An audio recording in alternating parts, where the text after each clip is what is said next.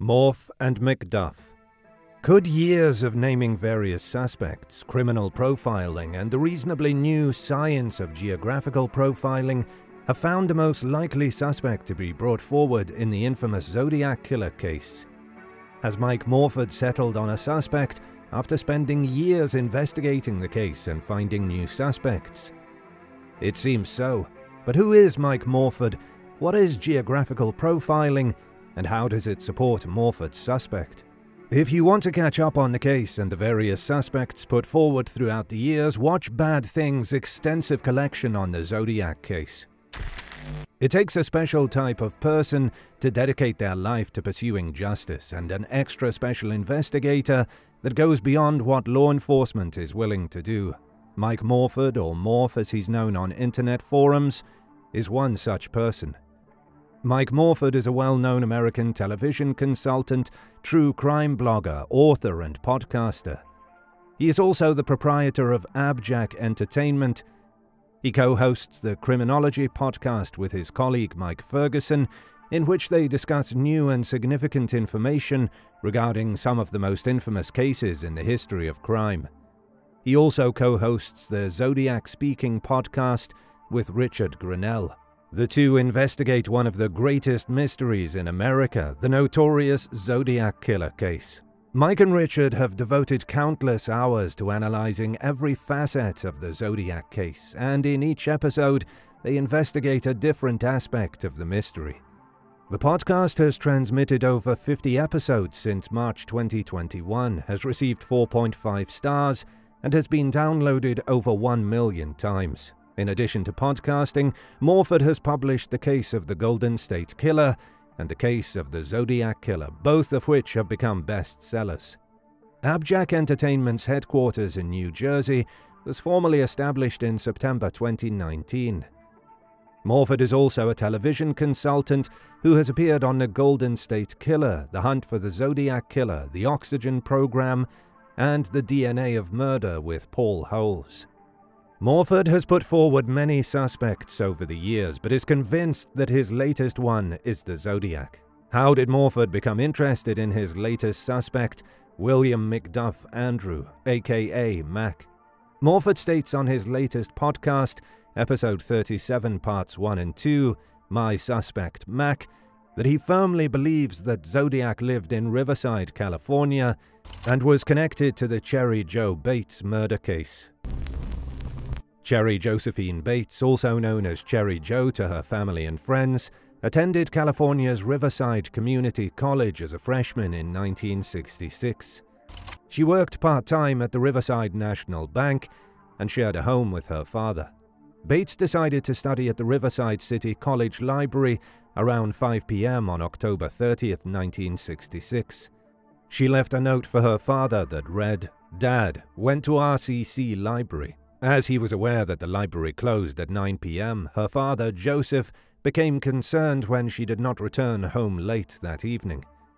On October 31st, he reported her missing at 5:30 a.m. A college groundskeeper discovered Bates's body near the school's library annex on Halloween morning. She had been stabbed, and it was clear that she fought fiercely to repel her attacker. Bates was fully clothed, and none of her belongings were taken. Her Volkswagen was positioned approximately a hundred yards from where her body was discovered. The ignition key was still in the ignition, and further investigation revealed that the car's ignition system had been tampered with. Her father and authorities began receiving anonymous letters shortly after her death. One month after Bates's death, the first one was sent to the authorities. It was a typed confession that began, She was young and beautiful, but now she is battered and dead. She is not the first victim, and she will not be the last. The sender also provided additional information about the crime. Additionally, Bates's father received three brief handwritten letters. Due to these confessions, there were speculations that the Zodiac Killer was responsible for Bates's murder. In a 1970 letter to the Los Angeles Times, the Zodiac Killer stated, I do have to give them credit for stumbling across my Riverside activity but they are only finding the easy ones. There are a hell of a lot more down there. Morford believes that the wording and grammar of these letters are a dead ringer for the Zodiac letters. That is until a detective friend of his told him to concentrate on the Vallejo area where known and not suspected Zodiac murders took place. Many are still convinced that Cheri Jo Bates was a Zodiac victim. Morford started looking at who could be a suspect in the Vallejo area. What piqued his interest was a phone call a man called the Vallejo Police Department at 12:40 a.m. on July 5th to report and claim responsibility for the assault on the night of the Ferrin Mageau attack at Blue Rock Springs Park. The caller also claimed responsibility for the murders of Jensen and Faraday just six months prior.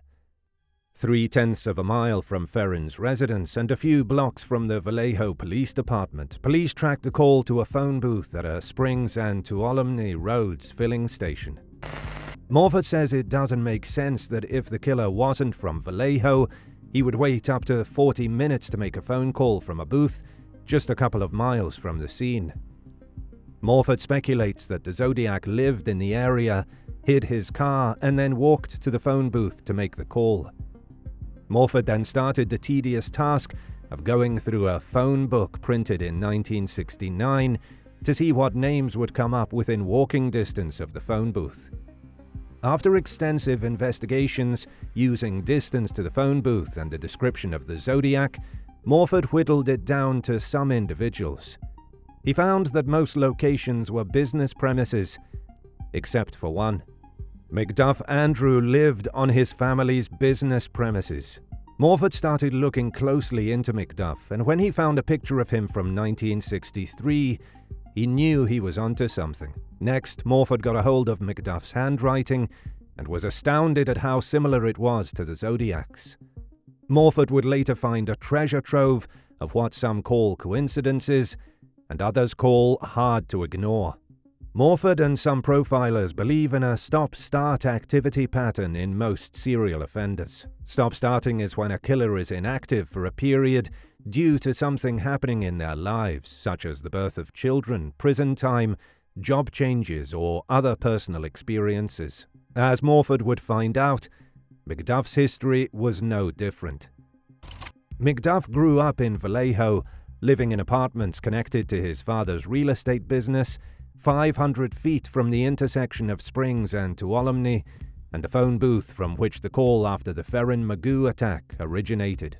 On December 20, 1968, Faraday and Jensen were slain on Lake Herman Road, approximately seven miles east of McDuff's parents' residence on the fringes of Vallejo.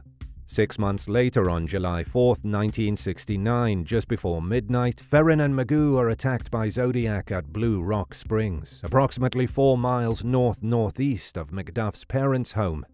Mageau described the Zodiac as 5 feet 8 inches in height, 195 to 200 pounds in weight, rotund with a large round face, 26 to 30 years old, and without spectacles. This was an almost perfect description of McDuff. Zodiac then contacts law enforcement from a phone booth approximately 500 feet from McDuff's parents' home, approximately 30 to 40 minutes after the assault at Blue Rock Springs. The Zodiac attacked Bryan Hartnell and Cecelia Shepard on September 27, 1969, at Lake Berryessa in Napa County. During a conversation, the Zodiac mentions being a fugitive prisoner from a prison that is presumed to be located in Deer Lodge. Just days before this, McDuff's cousin is gravely ill in Deer Lodge. If McDuff is the Zodiac, he might have mentioned Deer Lodge because it was on his mind. Paul Stine, a taxi driver in San Francisco, was murdered by Zodiac on October 11, 1969. Two days later, the Zodiac dispatches a letter containing a piece of Stine's shirt to a newspaper. Officer Richard Radetich was murdered in San Francisco near 666 Waller Street on June 19, 1970. A week later, Zodiac hints that he murdered Radetich in a letter. McDuff has been linked to 551 Duboce Avenue in San Francisco, 0.2 miles from the Radetich murder. In March of 1971, Zodiac sent another letter. Morford says this is a perfect example of the stop-start activity. McDuff's life changes when he accepts a position with the state of California. Morford is uncertain of his position, but by the end of his 30 year tenure, he was a prison sergeant and permitted to instruct prison warders firearms use. Morford says the next stop start is another significant event in McDuff's life. In January of 1974, Zodiac wrote his first letter in three years, and McDuff got engaged in June of the same year. After a month, the Zodiac dispatched his final confirmed letter. In October of that year, McDuff marries and moves to Vacaville, 300 feet from a couple who received a letter containing baseball tickets from someone purporting to be Zodiac in 1969 when they lived in Vallejo. In December 1990, a potential Zodiac card was mailed from Eureka, California, a city more than 200 miles away from Vallejo. In the 1980s, McDuff purchased a property in the Eureka region, McDuff passed away in Oregon in 2014 and was cremated, rendering any direct DNA analysis impossible. In 2015, a blog post written by McDuff's widow generated renewed interest. She discovered a box of McDuff's old belongings that she named the Guilt Box, with the word guilt written on the box's exterior. The box contained a copy of The Code Breakers by David Kahn, the same book that experts believe Zodiac used as a guide to constructing his ciphers. His widow mentions that he read the book in 1980 and misplaced the original copy. Because he enjoyed the book so much, he requested another copy, which was found in the box. In the second part of Morford's podcast, My Suspect Mac Part 2 of 2, meet the profilers. Doug McGregor, a geographical profiler, joins Morford to explain his findings. Geographic profiling is a technique of criminal investigation that analyzes the locations of a succession of connected crimes to determine the most likely area where the offender lives. Geographical profiling combines qualitative and quantitative methods and aids in comprehending a criminal's spatial behavior and narrowing the investigation scope to a smaller portion of the community. Typically utilized in cases of serial murder or rape, but also arson, bombing, robbery, and terrorism, the technique assists police detectives in prioritizing information in investigations involving hundreds or thousands of suspects and leads. Understanding the spatial pattern of a crime series and the characteristics of the crime scenes can provide investigators with additional helpful information such as whether the crime was opportunistic and the offender's degree of familiarity with the crime location. This is founded on the correlation between a criminal's behavior and their existence outside of crime.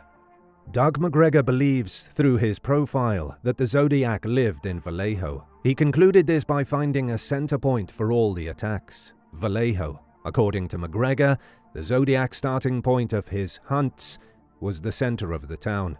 McGregor also believes that the payphone and a suspect walking to make a call have a vital role in his profile.